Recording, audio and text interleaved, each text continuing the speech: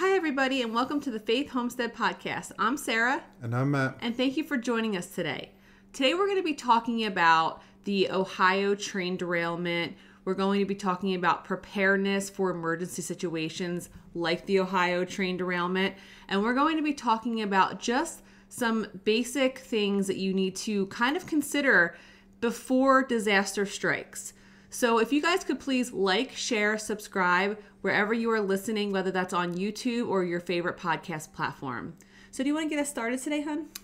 Yeah, and I think the the video for us today really stemmed from a lot of the reaction through social media, um, because I think a lot of the major media um, platforms haven't really covered what's actually going on with it. You know, we've seen really brief, you know, hey, you know, they burn off the the chemicals from this train and they moved on to their next story. And they mm-hmm. haven't talked at all about any of the people living in that area. No.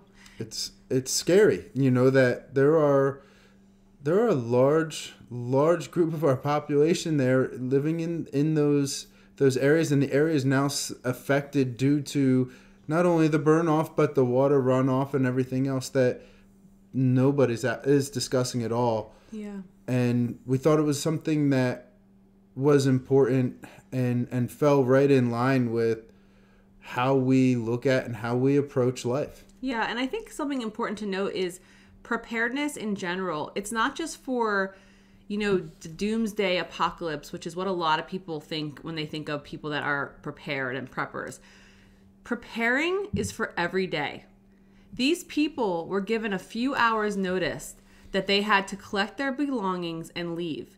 And to be completely honest, I know for a fact that once Matt would have known the chemicals that were being released into the waterways and into the air, he would not have let us return. Nobody should be in that area still. And so a lot of people on social media are, are very upset because they've they've now come to learn about the chemicals. I mean, just one of the chemicals okay? One of the chemicals is called it once it's burned is then turned into phosgene. Phosgene was i, I think i'm saying it correctly. Phosgene wa- was a chemical agent that was used in world war one to gas out the enemy okay? And that is what was being burned into the atmosphere and is still go there's the smoke i mean it's now heading east we're in pennsylvania so we're not we are like very on the east coast of pennsylvania so we have quite a ways from ohio where the accident happened but it is traveling. I i tested our water this week. We had a rainstorm and i'm sure people thought i was crazy but i posted to social media and a lot of people that didn't think i was crazy were like please let us know let us know and i wasn't expecting to really have an answer, especially because if I want to pay to have all those chemicals tested, I would have to, you know, take the sample to an environmental agency, pay a lot of money. But I knew that it was pretty basic to just check the pH. Okay? pH is something that I have, and I, I have pH strips that I use for canning. And because I'm, I mean, people were actually like correcting me on social media because I was like, sorry, uh, if you saw the video, um, it's on TikTok and on Facebook. But they were like, don't say that you're a weirdo because you use pH strips to test your canning jars. Because every time I open a jar uh, that I can, I, I test it with a pH strip just to make sure, because I have little kids that we're all eating it, and I want to make sure I don't kill my family with botulism. And I know for a fact that the canning that I do is it is by the book and it's USDA. You know, I follow all the rules but because I am a little bit of, um, I have a little bit of a, a, a like a scaredy cat mentality, and so I do that. And people were like, "Don't call yourself weird," but I have those strips. They're super cheap. You can actually get them. I have them linked in our Amazon storefront, which I'll put in the description if you're watching us on YouTube. Um, but I took some. I took I took a ball jar, put a funnel, a canning funnel on it, set it outside during rainstorm. I collected about a half inch half inch of water and I tested the pH strip and it was only 6.5, which is perfectly fine. I mean, I think neutral water is 7, so it's like totally fine. Um, and I told everybody that it was totally fine. And that was a very non scientific method of, of taking a water sample. But I know that next rainfall in two weeks, if I test it again and it is like super acidic, I know that the Ohio chemicals have reached us here in Pennsylvania where we live. And so I was taking the initiative to protect my family. And we also have a Berkey water filter. If you're not um, familiar with Berkey, it is an amazing filtration system. They are currently out of stock and they probably will not be in stock for many months since this disaster. But this is why we prepare. We prepare for everyday things. These people, again, had very little time to get out of their house. What would you grab? You know, people were grabbing things like electronics and like your TV is not going to save you. Your your your your radio, like your you know your eye, like all these electronics, your laptops, they're not going to save you. And I understand it's nice to have electronics for when you get somewhere, but you do not need a big screen TV when you're evacuating. Um, things that you need, you know, you should have things like your your birth certificates and social security cards and some emergency cash in a in one spot, ready to grab if you have to leave in an emergency. You should have things that are super valuable to you, things that are irreplaceable. Like you know, uh, you know, most people don't really print pictures anymore, but if you have old you know, antique or heirloom photos at this point from your family. Have those in an area. You need to have things that are important, emergency food, um, you know, all those things. So, and a lot of people are really upset because they can't go back to their homes. And if they are going back because the government is actually telling them it's okay to go back, which it's really not. Um, they are they're the ones who have researched and know what these chemicals are now. They're saying, well, what are we supposed to do? We are in our homes. We're afraid to we're afraid to even shower in this flammable water. It's poisoning our, our livestock. Our chickens are dropping dead. The fish in the in the creeks and the ponds are just dead. Everything is dying. But we have to stay here because we don't have the money to get out.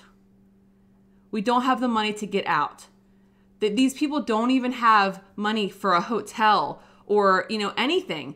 And we understand that it, we are in hard times but if you didn't have 500 to a thousand plus in car payments if you weren't living above your means and living in in having mortgages that were more than you could afford if you didn't have thousands and thousands of dollars in credit card debt and were not living from paycheck to paycheck you would be in a better position to evacuate and to get your family to a safe location. Absolutely. You know, I thought it was interesting when you put your post out on social media, you talked about how many people wanted to know results. Yes. All of those people could have done the same exact thing and known the results of, of their water, but they didn't. They were waiting for you to publish your results to better inform them which I think which is, is why, why we're it's doing important this. that we why have we're doing this. these conversations um, on a weekly basis. Uh, this Mm-hmm. this entire concept really started from you and I having these conversations and and realizing that Other people should know. you know these conversations I think are beneficial not only for us but I think for other people as well. And being Mm-hmm. being self reliant, you know, we you showed me several videos this week of people saying that they didn't know how they were going to have water that was going to be drinkable. Mm-hmm. They didn't know how they were going to get food. They didn't understand. They were they couldn't b- understand why the federal government wasn't coming in with FEMA aid and why they were blocking the governor's uh, request for aid. Yeah.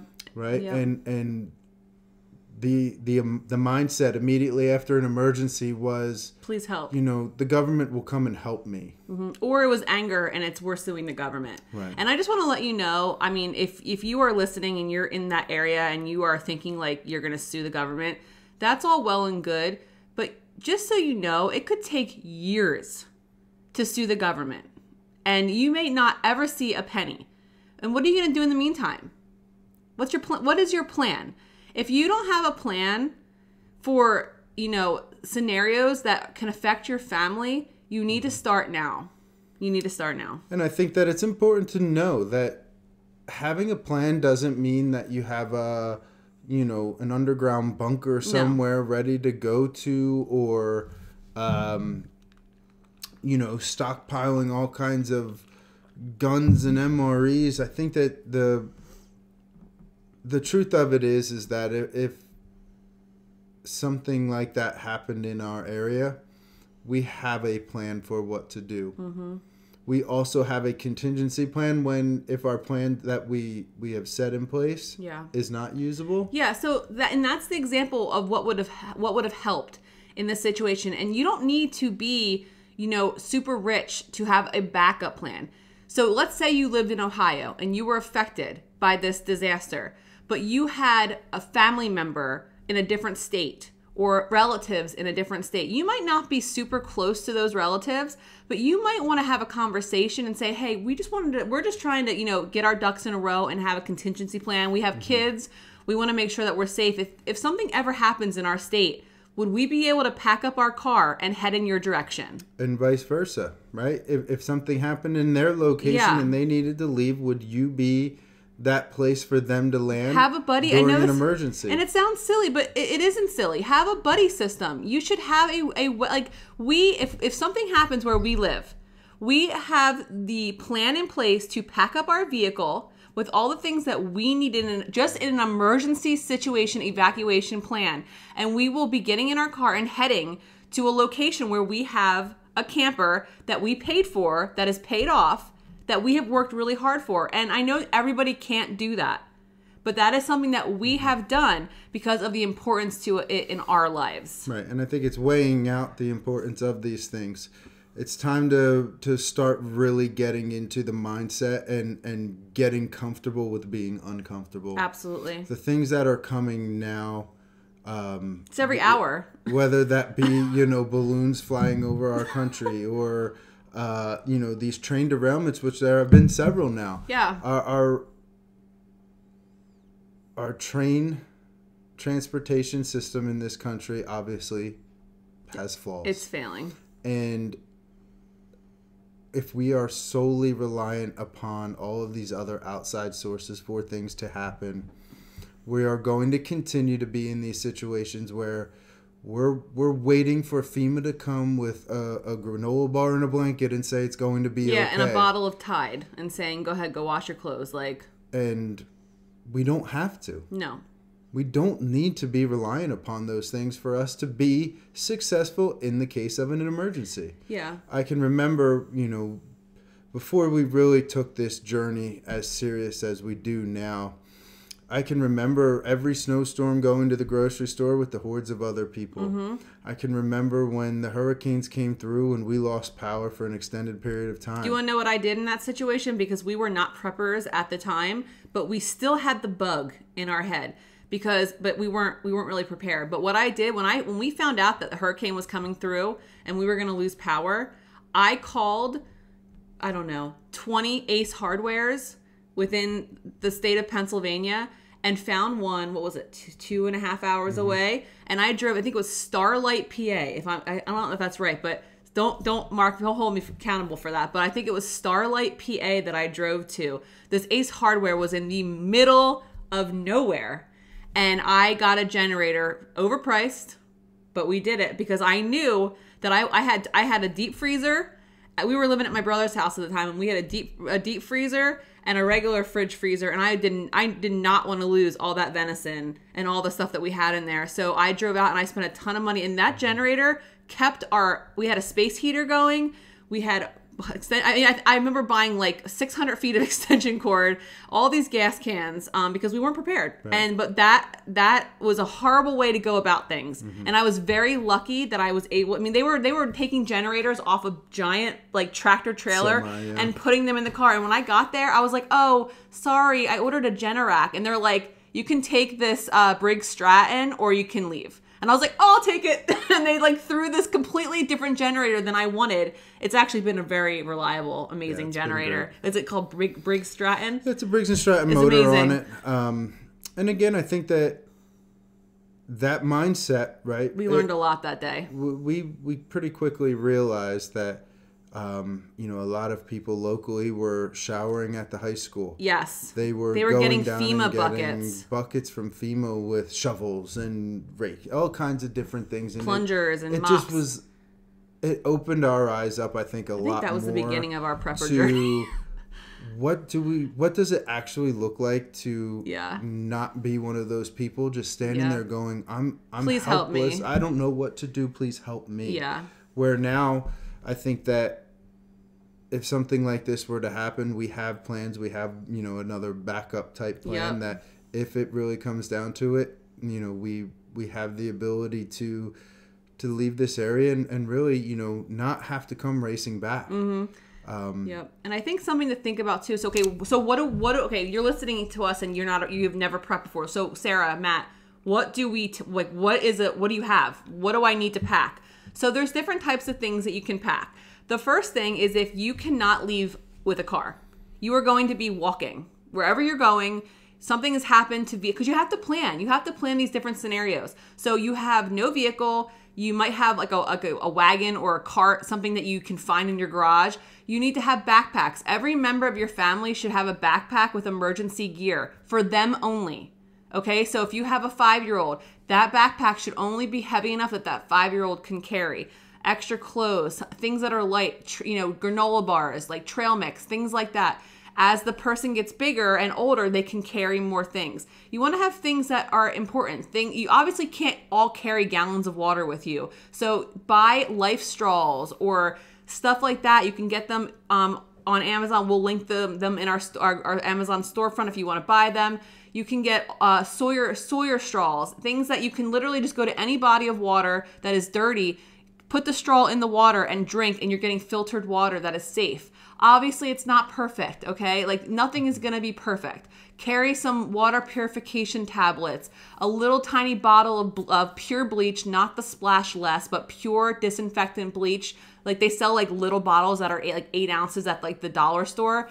Take one of those so you can purify your water. It's like two drops of two droppers of bleach per a gallon of water. Mm-hmm. Things like that. You know, you really need to start thinking about like matches, lighters things that are going to get you from where you're at to point B.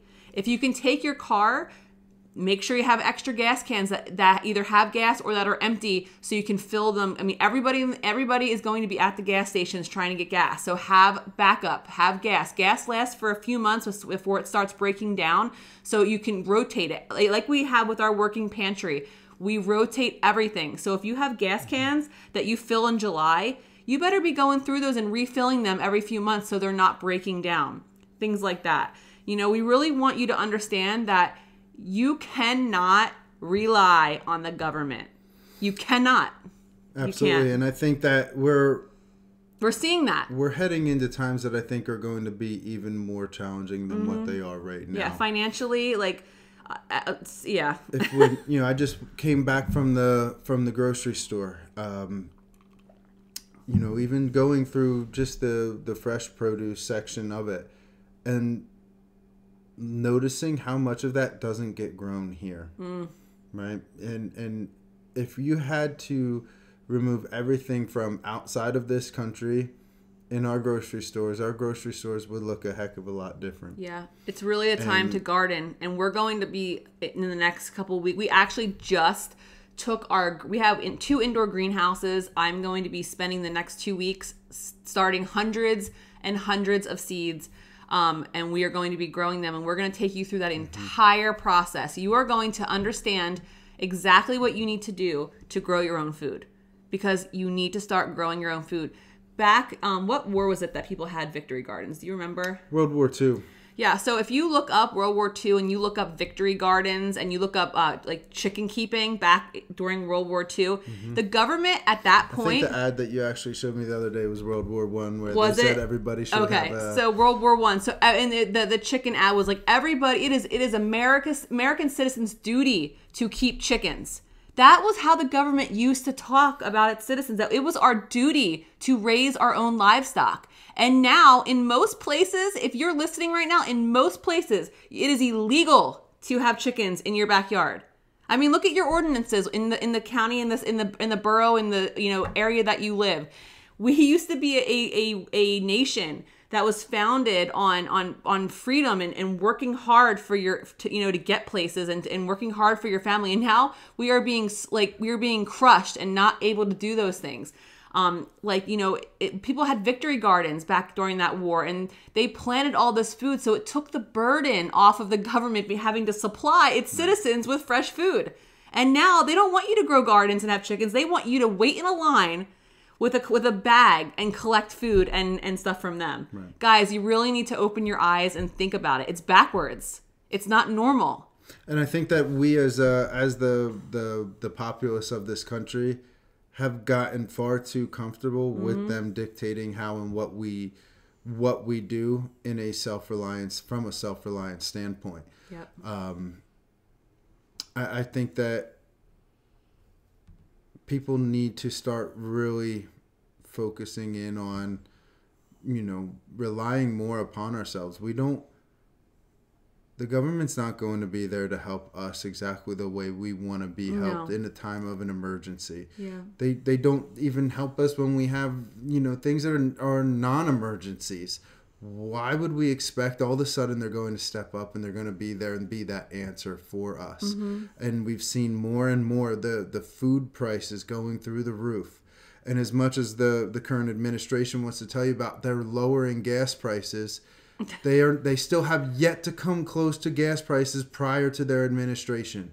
So it's all spinning this story and, and, and slanting it to make it seem like we're doing good. We're we're on the, the recovery path and we're not. Yeah. Yeah. And I think, I guess, I guess really the, my personal take home message, and I, I think you would probably agree with this, is really, it really comes down to what are you willing to give up every single mm-hmm. day to put yourself and your family in a situation where you have a contingency plan? Because right now, the majority of you are not doing it. Absolutely. And I hate, I hate. I, I was talking to him about this before we started. Like I was like, we're gonna, we're gonna upset a lot of people on this on this podcast mm-hmm. episode today. But this is why we're doing this. Everybody I've talked to, who who who I'm friends with, who, who knows that we're doing this now, they're like, we're really thankful that you're doing this because no one wants to talk about it. And we are here because we know that we know what it takes to start doing this, and we are we are we don't even we're working every single day every single day we give up things to be able to have a contingency plan mm-hmm. We don't i mean how i mean I, here's the challenge for you. I would like you to personally in the in the last 14 days go through your banking and whatever cash that you spent and add up how much you bought with food that was not from the grocery store. Any takeout food any starbucks and add all those things up and mm-hmm. see how much you spent on food that you didn't prepare at home and let me know if you're willing to give up, give up those things so you can have a contingency plan because right it. now nobody is doing it How many streaming services do we have? I mean, it, it just blew my mind that people were taking to social media to voice their frustration about how they couldn't do anything to help themselves. Mm-hmm. and it's really sad you too because there's people that are to- crying it's it is really sad You were willing to have the internet and you were willing to have the phone and the app to and the record. $500 car payment uh, you were willing to pay for all these other things, but to help yourself in the case of an emergency here, we weren't really. I'm not really willing to help myself there. It- Mm-hmm. because it- it's not it doesn't make convenient. sense It's not convenient and it's not easy. You know, you know, living below your means is not it's not easy. And a lot of the time it's not fun. But we know Mm-hmm. that we have goals to be completely debt free because when you are completely debt free, the burden that comes off of your shoulders and that you're able to be like, wow, we don't everything that we made this month besides basic utilities is ours. Right.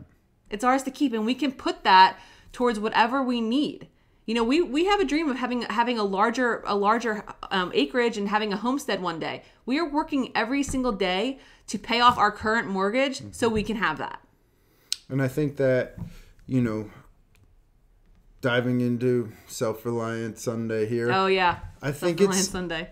it's something that's worth doing and it and really listing out looking at how much money are we spending on a monthly basis Yeah. right we started early on in this and how much mm-hmm. money is actually going out the door. But let's take that one step further and let's create the list of things that we're willing to give up and things that we're not. Yeah, and let's really i think it will open up eyes when you look at things that you're not willing to give up and why? Like, are you not willing to give up your your your you know hundred and eighty dollar a month sports package? I'm looking at you. Um, um, if you're not if you're not on YouTube, I'm I'm right close to the microphone. I'm talking to you. Are you not willing to give up your 180 dollar cable bill because you need to watch sports? I'm hitting nerves, aren't I? It's everybody. It's everybody. Yeah, and I think that if if you and I think, you know, this isn't us saying that we've, you know, we've eliminated everything. I think that No, we haven't. we we sit down and we look at it going, do we really need this? I mean, just Yeah. last month we looked at, We okay, do we really need to have all of these streaming We services? got rid of Disney, and it's been a little bit difficult for our kids. Yeah, but they the understand. kids struggled a little bit with it, They you know, but they have other means of of being able to have something to watch on on the YouTube is television. their friend. And um, yeah, I mean, you know, I have friends that have the YouTube that they pay for, so they don't have the ads, and I'm like, really, like. It's so Nobody much money every single month going out the door. It's time to start getting comfortable with being uncomfortable. Yeah, it's all comfortability. Like we just need to be able to get over it. To be honest. and i think that as you as you take on this this journey a little bit more you start to realize that there are other people out there that are following a similar path you start to build You find them. some really good relationships and Mm-hmm. Yeah, friendships with people that you start to you know realize that one you're not alone but two you have other people that you can then bounce these things off of It is so right? comforting. We we have our uh, a podcast and a YouTube channel, so we are, are are a part of the the thing that we're saying, you know, is not a great thing. Yeah. But the truth of it is, is that the largest majority of people finding this kind of content right now is going to be through an online platform more than it's going to be through, you know, a local group somewhere yeah. and most of those people in the local group are watching us and think we're we're pretty dumb and this is you know getting them nowhere right Yeah. and this isn't this isn't really necessarily directed towards them Yeah. It's you know this is this is us trying to be there to one get some ideas out but to provide that feedback for people that maybe don't do any of this now but want to learn Yeah. more want to dive into this more because i don't think that i'm an expert in any means in No. any field of you know self-reliance and preparation and and all of that stuff i i i think that we always learn there is always something to be learned Mm-hmm. Every if you've done single day. something a thousand times there is something to be learned on the next time Mm-hmm. you do it so we continue to learn on this journey and if we can help some people along the way that pick up some of these ideas it's only going to be it's only going to lead to a, a better populace here in our country keeping our country what it should be Mhm. Yeah, I agree. It's great. Well, guys, we really thank you for joining us today. We will be back next Sunday, and we hope you have a wonderful, blessed week. Have a great day.